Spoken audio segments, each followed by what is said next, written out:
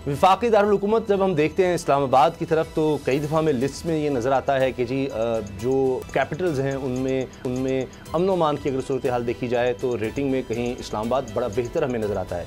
मगर इस पर वज़ी अजम ने ख़ुद आदम इतमान का इजहार कर दिया। इसका मतलब ये जो इस तरह के आते हैं तजिए या ये कह लीजिए, रेटिंग आती है उस पर भी पूरी तरह से एतबार नहीं किया जा सकता, क्योंकि इमरान खान साहब भी विफाकी दारकूमत का जो सेफ़ सिटी का मनसूबा है, इससे कोई इतने खुश नहीं है। और ये अगर मैं गलत नहीं हूँ तो नून लीग के दौर में ये शुरू हुआ था और तब चौधरी निसार साहब वजी दाखिला होते थे। गुलाम साहब, क्या मसला क्या है? मेंटेनेंस सही नहीं हो सकी। कई दफ़ा ये नज़र आया कि सी फुटेज मिलती नहीं थी, कैमरे ख़राब हो जाते थे, जबकि जब शेख रशीद वजी दाखिला बने कहा जी, मैंने तो वहाँ से जितने बैरियर्स थे, वो हटाने का कह दिया है चेक पोस्ट वगैरह थी, वो कम करने का कह दिया है, क्योंकि हम कैमरों की मदद से करेंगे, ज़रूरत ही नहीं है इस तरह से। तो उसके बावजूद कुछ मामला ठीक नहीं हो सके। पाकिस्तान पीपल्स पार्टी के दौर में ये मनसूबा शुरू हुआ था। रहमान मलिक साहब वजी दाखिला थे, उन्होंने एक चाइनीज़ कंपनी के साथ बातचीत भी कर ली थी और बड़ा एक स्कैंडल भी बना उनके हवाले से। कि वो बस वो काफ़ी बातें उसके हवाले से हुई कि सेफ़ सिटी प्रोजेक्ट जो है वो शुरू करना था लेकिन शुरू नहीं हो सका। फिर बाद अजा क्योंकि प्रोजेक्ट तो था और इसके लिए जो फंड्स थे वो भी एलोकेट थे तो फिर उसके बाद ये एग्जीक्यूशन हुई इस प्रोजेक्ट की। लेकिन हम्म। इसमें ये था कि जितने कैमरे लगाए गए from day first till today ये 30 परसेंट तक कैमरे वर्किंग में रहे। इससे ज़्यादा इनकी वर्किंग जो है वो कभी भी नहीं हो सकी। आज भी तकरीबन thirty thirty three thirty four percent ये हंड्रेड परसेंट काम नहीं कर रहे बल्कि thirty three thirty four percent कैमरे जो हैं वो वर्किंग में हैं। जी। इससे काम क्या लिया जा रहा है? हम्म। इससे काम लिया जा रहा है लोगों के आजकल लाइसेंस जो है वो जुर्माने करने का लोगों के इशारे काटने पर उनकी तस्वीरें उनके घरों में भेजने का। अच्छा। ये काम और सिर्फ़ जो चल रहे हैं वो मेन शाहराहों के ऊपर चल रहे हैं। ट्रैफ़िक पुलिस इनको इस्तेमाल कर रही है सेफ़ सिटी कैमराज को। अच्छा। आ, दूसरी सूरत हाल देखें असल ये काम क्या था कि कोई भी जुर्म अगर होता है हम्म। तो सेफ़ सिटी से उस शख्स की शनाख्त ली जाए हम्म। उसका पीछा किया जाए और फिर उसको आ, पकड़ लिया जाए। ठीक।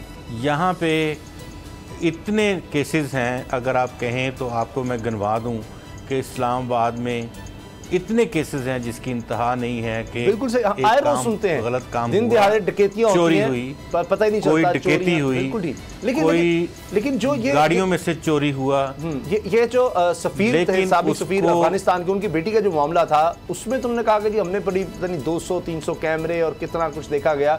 वो, वो सारा को शायद वो जो थर्टी परसेंट काम कर रहे थे वहाँ वहाँ जाना और फिर उस केस को और ज़्यादा वो मुश्किल बना देता है लेकिन कुछ ना कुछ वर्किंग में होंगे और वो वहाँ जाना नहीं ये कंट्रोल रूम बना हुआ है। Safe city safe city control room बना हुआ है। लोगों को बुनियादी तौर पे इसकी वर्किंग का पता नहीं है। ये तमाम एक कंट्रोल रूम से मुंसलिक हैं तमाम कैमरे। और वहाँ पे सेफ़ सिटी के हवाले से तमाम मूवमेंट वहाँ पे होती हुई देखी जा सकती है जो कैमरे वर्किंग में है। तो अगर जराइम को कंट्रोल करना हो। और नीयत हो तो ये काम बाकायदा इसके ज़रिए से फौरी तौर पे हो सकता है। अच्छा। यहाँ मैं ख़ुद आपको बताऊँ कि एक शख्स की गाड़ी से आ, सामान चोरी हो गया। कराची से वो लोग आए हुए थे। अच्छा। और जब वो सेफ़ सिटी कैमरा के हवाले से गए तो उनको वो अभी फ़ोन कर रहे थे तो उनको उन्होंने बताया कि हम आपको देख रहे हैं आपकी गाड़ी का ये नंबर है आप यहाँ पे खड़े हैं। इस हद तक आला क्वालिटी कैमरे थे कि जूम करके वो हर चीज़ देख रहे थे लेकिन जब उन्होंने कहा कि मेरा मुजरम उन्होंने कहा जी वो हम पकड़ते हैं हम्म। कोशिश करते हैं तो अच्छा। तो ये वजी अजम साहब का बड़ा अच्छा फैसला है इस हवाले से और पहले एक और काम भी हुआ था जब शेख रशीद साहब वजी दाखिला बने हैं उनको ये ब्रीफिंग दी गई कि सेफ़ सिटी कैमरे हैं और हमारे पास हम्म। जराइम को पकड़ने का पूरा कंट्रोल है और हम इस हम्म। तरह कर देंगे हमने बिल्कुल इस सिटी को जो है वो महफूज बना दिया है। हम्म। तो उन्होंने उन्होंने कहा फिर नाके किस लिए लगाए हैं? जी। तो शर्मिंदगी में वो नाके उठाने पड़ गए। अच्छा। उधर से सुप्रीम कोर्ट का भी आर्डर था कि नाके जो हैं वो उठाए जाएँ। तो अब बात ये है कि ना तो शहर महफूज है ना शहरी महफूज हैं। जो भी जराइम कर रहे हैं लोग वो करके अपनी अपनी जगहों पे जा रहे हैं। तो अच्छा, सेफ़ सिटी का क्या फ़ायदा है? क्या अच्छा अब अब जो चलान करने के लिए रखा अब जो इमरान खान साहब जो विजन लेकर आए हैं वो ये है कि जितने बड़े बड़े प्लाजे हैं वहाँ पर अब प्राइवेट बिल्डिंग्स में भी लोगों ने लगाए हुए हैं। तो पहले मरहले में जो बड़े बड़े प्लाजे हैं और इस तरह की जो बिल्डिंग्स हैं उनके कैमराज यानी जो निजी आप समझ लें कि इमारतें जो प्राइवेट पर्सन के पास हैं उन्होंने कैमरे लगाए हैं उनको भी मुंसलिक किया जाएगा सेफ़ सिटी से। तो बाबा डॉक्टर साहब क्या ये हो सकता है कि स्टेट किसी प्राइवेट आदमी के पास जाए और कहे जी ये जो आपका कैमरा है इसका लिंक हम ले रहे हैं और इस तरह से वो कहने जी निजी हाउसिंग सोसाइटीज़ हैं उधर उनके कैमरे भी फिर सेफ़ सिटी से लिंक किए जाएँगे यानी कैमरा एक प्राइवेट पर्सन ने लगाया एक प्लाजा में लगाया जिस तरह हमारे ये पोल का ऑफ़िस है यहाँ पर कैमरे लगे हुए हैं तो ये गवर्नमेंट आए और कह के जी ये सारा लिंक जो है हम ले रहे हैं साहब इसमें हरज क्या है पहली बात तो ये कि 1600 कैमरे लगे हुए हैं सेफ़ सिटी प्रोजेक्ट के तहत, और इसमें से ज़्यादातर काम ही नहीं कर रहे। वहाँ पर सबसे ज़्यादा कंप्लेंट ये है कि बेतहाशा चोरियाँ डकैतियाँ हो रही हैं, जिस तरह गुलाम मुद्दा साहब ने भी कहा।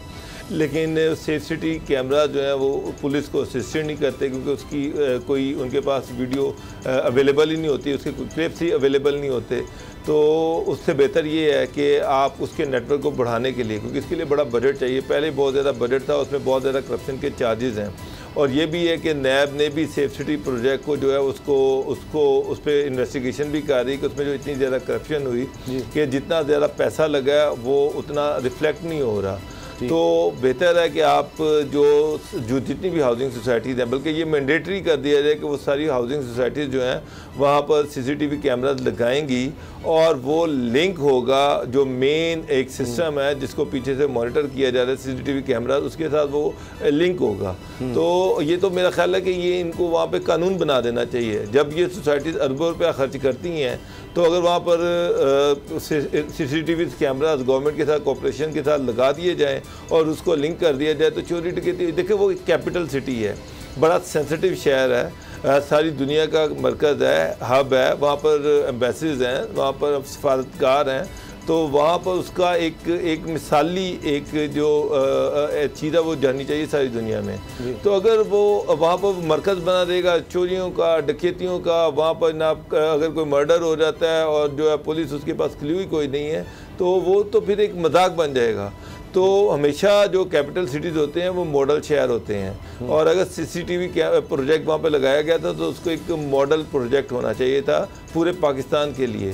और अगर वो वहाँ पर काम नहीं कर रहा तो फिर तो पूरे मुल्क का ही अल्लाह ही हाफिज़ है। अगर जहाँ प्राइम मिनिस्टर जहाँ पर बैठे हुए हैं जहाँ पर प्रेसिडेंट ऑफ़ पाकिस्तान है जहाँ पर चीफ जस्टिस हैं और जहाँ पर सारे बड़े बड़े ऑफिसर्स हैं और अगर वहाँ पर चोरी डकैती ही नहीं रुक रही तो फिर लाहौर और पूरे पंजाब का जो रिमोट एरिया है वो तो अल्लाह अल्लाह ही हाफिज इवन कराची वहाँ सेफ़ सिटी का बड़े अरसे से हम सुन रहे हैं। कई कई ऐलानात कई ऐलानात जो है ना वो विजन के तहत होते रहते हैं। एक दो महीने पहले एक ऐलान हुआ था कि अब जो ड्रोन्स हैं उनके ज़रिए से इस्लामाबाद की हिफाजत की जाएगी। ड्रोन कैमराज होंगे वो चलते फिरते रहेंगे मुख्तलिफ़ जगहों पे उनको मुख्तलिफ़ शहर की विसेंटीज़ में उनको उड़ाया जाएगा तो और हर रोड के ऊपर वो होंगे हम्म। और जहाँ पे भी कोई क्राइम होगा तो फौरी तौर पे डॉल्फिन फोर्स को बताया जाएगा और वो गुलाम मुजा साहब कैमरे तो इनसे लग नहीं रहे ड्रोन कैमरे से लेके आएँगे? वो तो इससे भी महँगा प्रोजेक्ट हाँ है नहीं नहीं विजन की बात कर रहा हूँ मैं विजन की बात कर विजन। की विजन की बात कर रहा हूँ मैं ये लगाने की बात नहीं की मैंने। जी जी। तो ये भी शेयर अच्छा। हुआ था विजन ना कि ये भी हमने करना है। मगर ये ये कर रहे हैं। गुलाम साहब अब इमरान खान साहब का तो विजन है डिजिटलाइजेशन। अभी उन्होंने कहा कि जी हमने ज़मीनों का ये कर दिया है। तो अब ये देखें कि कम अज़ कम डिजिटलाइजेशन की तरफ़ मान सबसे अहम चीज़ है। इन, आ, किसी भी रियासत की सबसे पहली ज़िम्मेदारी है लोगों की जानो माल का तहफ़ तो उसके लिए अब पूरी दुनिया में ये सबसे अहम चीज़ हो गई है। पेट्रोलिंग आप देखते थे पहले होती थी अब तो ये कैमरे हैं। तो इनको बेहतर और मज़बूत बनाने की ज़रूरत है। ख़ासतौर मैं समझता हूँ कराची सबसे ज़्यादा अकदार है सबसे बड़ा शहर है कि वहाँ पर इस तरह का निज़ाम लाया जाए। सब्सक्राइब करें और बेल दबाएँ ताकि कोई खबर रह न जाए।